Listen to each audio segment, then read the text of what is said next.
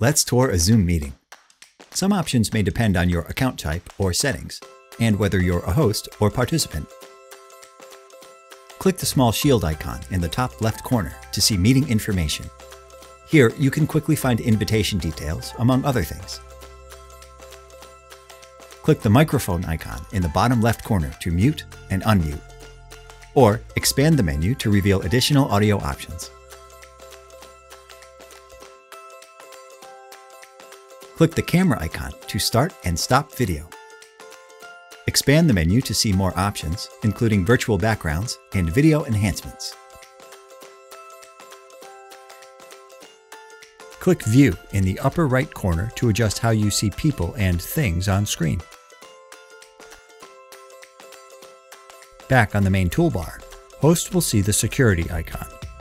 The Security menu gives hosts many controls to help safeguard their meetings, so be sure to explore the options found here. Click the Participants icon to identify who is speaking and on video, indicated by the icons next to their names. Hosts have a range of other options here to help manage participant audio, video, and interaction capabilities. If enabled, use the chat window to type messages, react with emojis, and send files to one or more participants. Some chat discussions can be reopened after the meeting ends in an automatically generated group chat within the Zoom desktop client Team Chat menu. If Share Screen is enabled, the host and participants can share their desktop, web application, mobile device, audio or video, and more. Once shared, you can annotate or add information to the screen, or even assign control of certain slide applications to another participant. Find more about screen sharing in another Learning Center video. Hosts on some account plans may launch polls to engage their audience and gather opinions or feedback. Click the record icon to record the meeting locally to your computer, or on some account plans, to the cloud. Hosts can enable free, automatic closed captioning for all participants.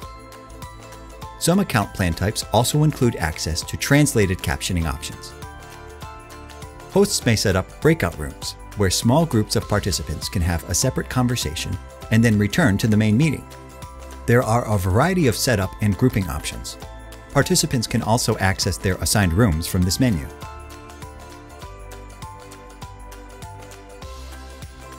If enabled, the Reactions menu allows participants to communicate non-verbally.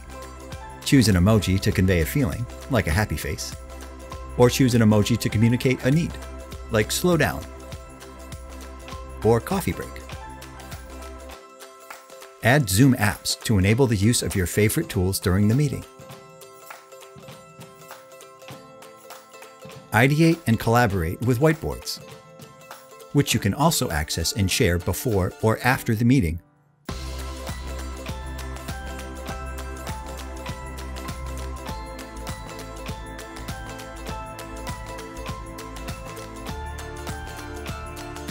click the End button to leave the meeting, or for hosts, end the meeting for all.